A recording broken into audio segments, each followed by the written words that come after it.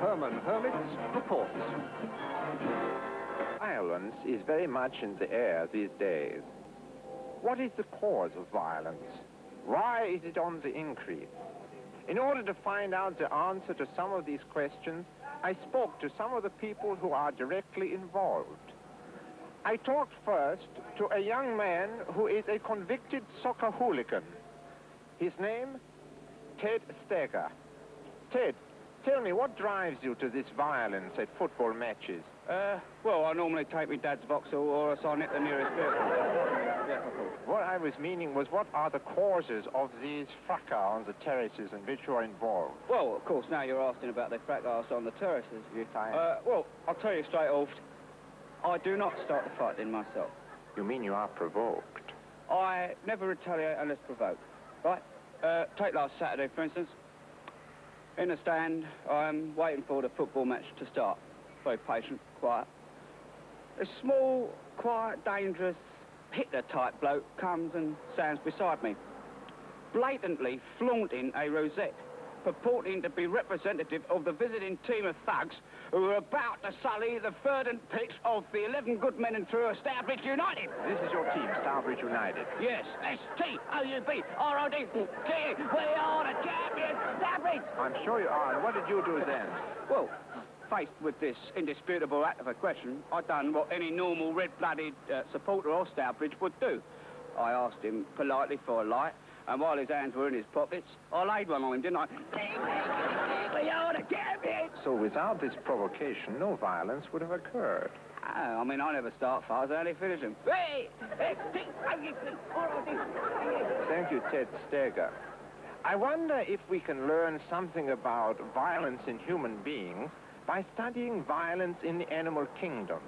Professor Luboski, in his book on aggression, has pointed out through his experiments that spiders are often driven to fury by certain colors. For example, the blue bottom of a bluebottle fly will cause a spider to go mad with rage. Perhaps some crowd hostility towards the police can be explained in these terms. More likely it can't. Nevertheless, I spoke to Inspector Necker of the yard about it. Well, you know, I think the only way we're going to be able to cope with this problem, and let's face it, it is a problem. It's a big problem, and we've got to face it, so let's face it fair and square in the face. If we're going to face this problem of the rising tide of crime and violence, I think we in the police have to be eternally vigilant. I think, I think vigilance is the watchword here, because if we aren't vigilant, then we're not going to detect the crime. And if we don't detect the crime, we can't find out who did it. And after the vigilance, of course, comes in the digilance.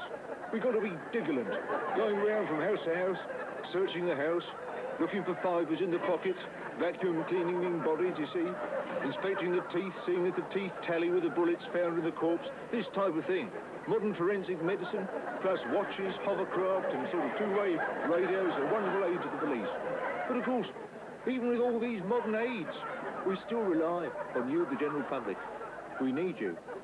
Because without you, the general public, going out and actually committing the crimes, then there's nothing at all for us to do. Thank you. Good night. Strong views from the police. I then decided to ask an ordinary member of the public her views on violence. Uh, my husband Ronald is a manure spreader, and um, of course when he comes home, uh, his clothes are very filthy, and he only has to come through the door, and I go, and I'm out about, and uh, a couple of spoonfuls of your stuff in the wash make it come out beautiful and clean. Don't I understand? I was asking you about violence, madam.